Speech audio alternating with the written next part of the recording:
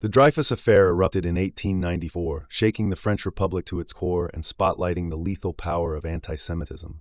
Captain Alfred Dreyfus, wrongfully convicted of treason due to his Jewish heritage, was imprisoned on Devil's Island under brutal conditions. The scandal, fueled by massive public debate and press involvement, uncovered not just a case of mistaken identity, but systemic corruption and forgery within the military to protect the guilty.